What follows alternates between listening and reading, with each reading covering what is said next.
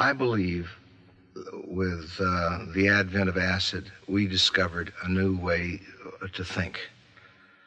And it had to do with piecing together new thoughts in your mind that produced people like uh, Bob Dylan and John Lennon and William S. Burroughs that were using new images together in a way that uh, jarred the mind and, and produced images that uh, were latent in our consciousness, but were not being brought about by reading uh, Vanity Fair or Woman's Home Companion.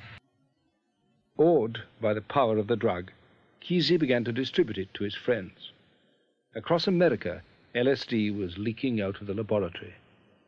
I've always thought that this is one of those things that proves that God has a sense of humor.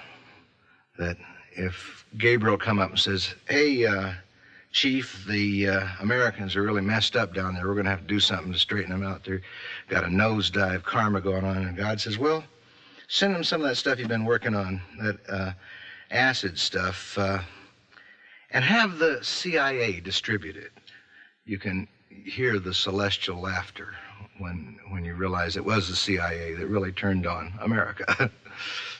I think that something happened in the early 60s that LSD was related to, music was related to.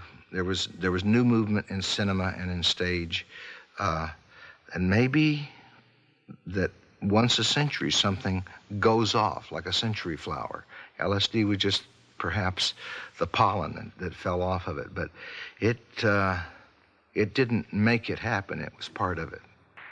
There's uh, 27,000 people a year killed here in alcohol related deaths.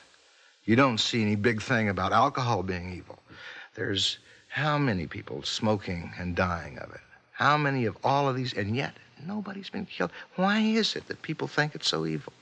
What is it about it that, that is scares people so deeply? even the guy that invented it. What is it? Because they're afraid that there's more to reality than they have confronted.